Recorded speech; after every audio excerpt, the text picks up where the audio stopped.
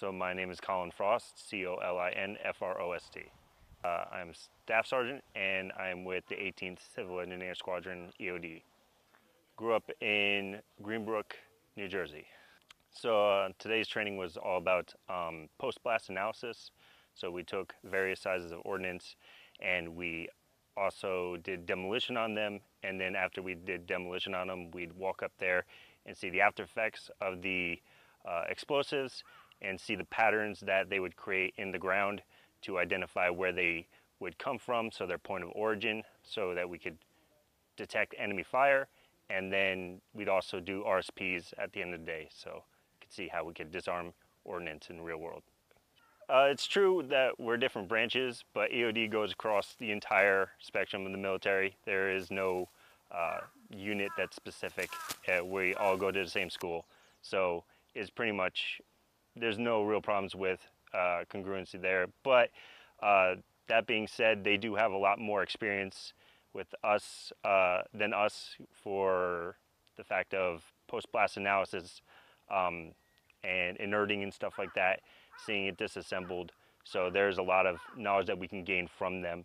So it is definitely a help being out here with them. And they, uh, their personal experience, I haven't deployed, so their real world knowledge of seeing this a hundred times over and over again, uh, it really shows when they are explaining it to us. It's Kaliff Eyrich, K-A-L-I-F-F. Last name is E-Y-R-I-C-H. And the platoon sergeant for 2nd Platoon EOD Company, Alliance, Nebraska. Today's training, we basically focused on post-blast analysis for conventional ordnance, as well as uh, render safe procedures for uh, conventional ordnance that we may find uh, U.S. or foreign on the battlefields.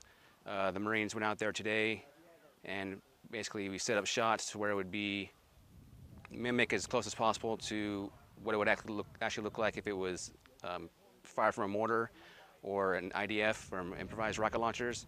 Um, placed them in the ground. Uh, the Marines went out there. We uh, walked them through how to do the things they needed to do and uh, looking for frag, um, shot craters, uh, the direction the, the, uh, the, rounds came from, and how to, how to conduct that type of um, crater analysis. Uh, actually, yes. Uh, the weather, for one, is, is rough, especially during the summer months. Uh, the humidity here is really bad, so we got to make sure the guys are staying hydrated.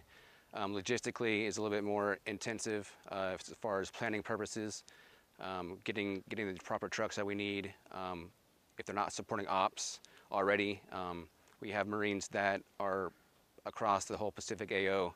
So getting out here and, and figuring out who's going to be on the range that day or who's going to be TAD is one of the challenges that we have here because we're so busy. So real world today, for especially for the post-blast analysis, uh, say a base came under mortar fire or attack um, and the techs were called out to dispose of a UXO that may have not have gone off.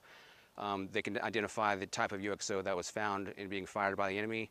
Um, they can analyze the, um, the blast crater like as were, we, we, were doing today to figure out and possibly find a, a point of origin where the mortar round may have been fired from uh, direction of travel, uh, what type of round it was, uh, the soil composition, what kind of explosives were being used, and also they uh, will find the frag that was in the craters and that kind of identify and piece together maybe the size and type of ordnance it is as well. Render safe procedures as far as uh, from an EOD standpoint is basically making around uh, safe to transport or safe to move to a safer location if need be. Uh, sometimes there's fuses that are, aren't able to be moved at all due to the hazard with them. So the render safe procedures is basically the safest way to, to take care of that round in its place. We use protective works. If you have to sandbag around it to make sure it doesn't do any collateral damage to the uh, area around it if it needs to be saved. And it basically just takes the, the most dangerous part of that fuse or that, that ordnance item out of the equation so that we can move the rest of it to a safe area. Uh, Staff Sergeant Joshua Firth, F-I-R-T-H. Explosive Ordnance Disposal Team Leader. My hometown's from Seaside, Oregon. So today uh, we were up here doing post-blast analysis of ordnance items as well as uh, render safe procedures or RSPs. And I was today my primary purpose was just to teach these guys how to do a back azimuth of a round after it impacts and detonates, as well as fragmentation analysis and just general post-blast information. Um, right now, it's mostly our younger guys, so newer EOD techs. Most of them haven't been through a formal post-blast analysis training And same thing for the Air Force guys. Two of them are pretty new to the field, so this is their first real experience with besides just being told how to do it, actually getting down into the dirt and doing it themselves. With my style of teaching, not particularly, I try to break it down just to a user level so that these guys understand and I'm, if anything's not clear, I'd try to make it a point to reiterate it to the, to the best of my knowledge to break it down for them. Uh, training today went really well. Uh, weather was really, really nice to be able to deal with. The terrain is, you know, an obstacle you have to deal with no matter what, so it gave them a bit more of a real world expectation instead of it just being like laboratory conditions. So the render safe procedures or RSPs, that's a method we use to actually make the ordnance item no longer function as designed. So if you have an area that cannot withstand a high order detonation, we can't just blow it up where it lies. We have the ability to make it so it's not going to function that way so that we can move it. With the post-blast analysis, that's our forensic gathering to determine uh, possible point of origin for fired projectiles as well as with, through fragmentation and crater analysis, we're able to determine the approximate size or type of round that was fired in order to get better intel to find out where it's being fired from or what's actually being used against friendly forces. So today our uh, ordnance that we did post-blast analysis on was 60 millimeter HE mortars, 81 millimeter HE mortars, as well as a 155 millimeter howitzer shells, also HE. So they were, had a chance to see the difference in fragmentation so that they're able to learn like certain frag types and shapes to determine what type of ordnance item came from it, as well as crater analysis, seeing the different sizes of craters that different ordnance items are going to be able to give them.